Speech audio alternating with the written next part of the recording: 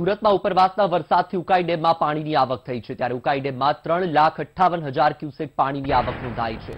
Rule level જાળવવા એક લાખ ત્યાંસી હજાર ક્યુસેક પાણી તાપી નદીમાં છોડવામાં આવ્યું. હાલ ઉકાઈ ડેમની સપાટી ત્રણસો ફૂટ થઈ છે. તો તાપી નદી બે કાંઠે વહી રહી છે.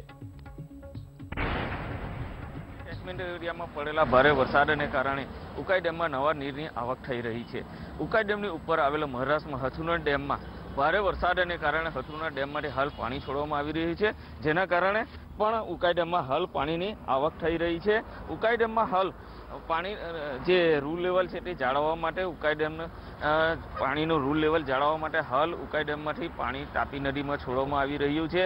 ઉકાઈ ડેમમાં હાલ ત્રણ લાખ અઠ્ઠાવન હજાર ક્યુસેક પાણીની આવક થઈ રહી છે.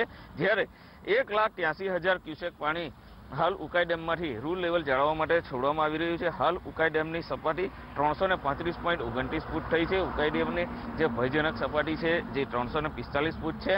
હાલ જે ઉકાઈ ડેમમાં પાણી છોડવામાં આવી રહ્યું છે, જેના કારણે હાલ તાપી નદી બે કાંઠે વહી રહી છે. ઉકાઈ ડેમ બાદ જે કાકરા પર વિયરકમ રજવે આવ્યો છે, તે પાણીમાં ગરકાવ થઈ ગયો છે. સાથે સાથે જ હરિપુરા બારડોલી તાલુકાના હરિપુરા ગામે જે કોઝવે આવ્યો છે, તે કોઝવે પણ પાણીમાં ગરકાવ થઈ ગયો છે. સુરત ખાતે જે આવેલો કોઝવે છે તે પણ સંપૂર્ણ પાણીમાં ગરકાવ થઈ ગયો છે, જે સુરત શહેરી વિસ્તાર છે, જેમાં નીચાણવાળા વિસ્તારોમાં, આ લોકોને સાવચેતીના ભાગરૂપે તંત્ર દ્વારા ખસેડવામાં આવી રહ્યા છે. હાલ જે રૂલ લેવલ છે એ જાળવવા માટે ઉકાઈ ડેમમાંથી સતત પાણી છોડાઈ, છોડવામાં આવી રહ્યું છે. કોઈ અનિચ્છનીય બનાવ ન બને તે માટે તંત્રએ સંપૂર્ણ જે સંપૂર્ણ કામગીરી કરી દીધી છે અને જે પાણી રૂલ લેવલ જાળવવા માટે છોડવામાં આવી રહ્યું છે. સતત હાલ પાણીની આવક થઈ રહી છે. જેના કારણે સતત પાણી ઉકાઈ ડેમમાંથી હાલ છોડવામાં આવી રહ્યું છે.